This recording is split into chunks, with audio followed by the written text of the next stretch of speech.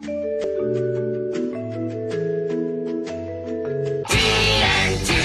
I'm dynamite. TNT, and I'll win the fight. Salutations, American viewers. Hola, las viewers mexicanas. My name is Tanner Jangles. Je m'appelle Ted. You've completely switched languages there. English, please. I'm Ted Nurse, and for the next five minutes, we'll let you know what's happening in your backyard. Your dog just defecated. In other news, man or mannequin. A Denver resident, Dale Porch, clapped and died on his own last name, a porch. Now, when a mailman came upon the corpse on the porch, he thought it was a mannequin still left up from All Hallows Eve and walked past the porch's corpse. Which, of course, is reasonable, because we all know Mr. Porch had quite the affinity for mannequins and early November hijinks. Obama's president. Coffin therapy, it's the new cranian craze. Ever pretend you're Dracula, but you didn't have a coffin come morning? Well, the Ukrainian name, a man by the name of Stepan Pilonak, a coffin maker, is now expanding his business from the dead to the undead, not zombies. Yes, Tanner, not zombies, but people who feel depressed are now invited to soak away their sorrows in coffins rented for 15 minute sessions. It seems remarkably counterproductive to me, but now let's talk about Lindsay. Miss Lohan has been arrested for letting her love for a member of the Irish boy band The Wanted get out of hand. At 4 a.m., Lindsay was arrested for third degree assault on another woman who was talking to one of the members of the band. Lindsay, you were going downhill for a while, and now you have just reassured me that you are still going nowhere. Sometimes I wonder what that other tri- twin from the Parent Trap is doing now. And now over to Nimbus Ned with The Whiny Weather. Ne- Ned, you're on. What's the point?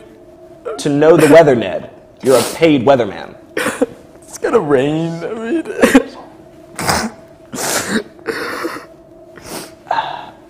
why, why do I even do this? Any, any, what's it gonna look like, Ned? It's rain, man. Like it's gonna look like this. Uh, thanks, Ned. We now have an interview with someone named Seth Ro- Rogen. Uh, apparently, he's done stuff. Now on to you, Tanner. Thanks, other Tanner. Today we're here with someone named Seth R- Rogen. Uh, Rogan, actually. Ah, yes, Seth Rogen, who assures us he's been in movies.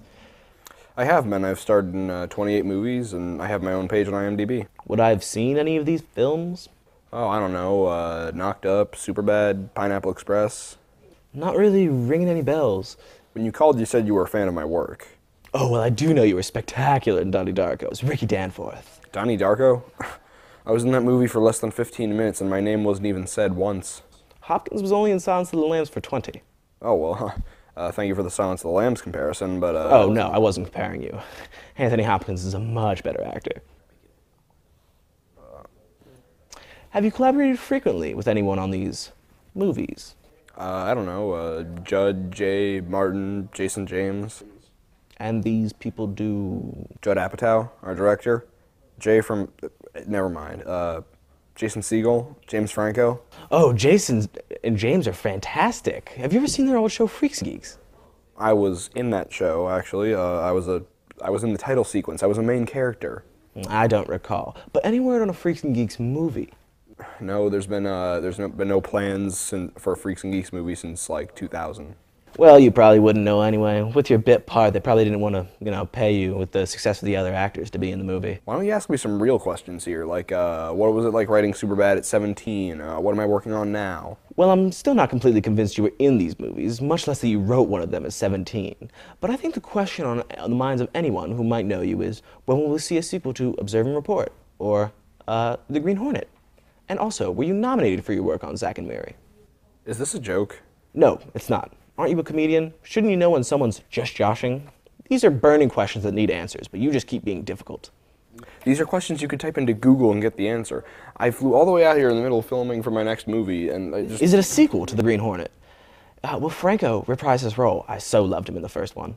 he died at the beginning of the movie, and no, there's never going to be a sequel to The Green Hornet. Well, I'm not sure if your movie's for me or anyone for that matter. At least one of us learned something today. Yes, indeed.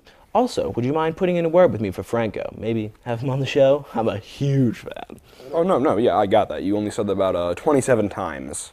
So is that a yes or a... Okay, you know, you know what? I, I'm done with this. See you later, buddy. Uh, uh. It's now time for our rapid fire wrap up stories.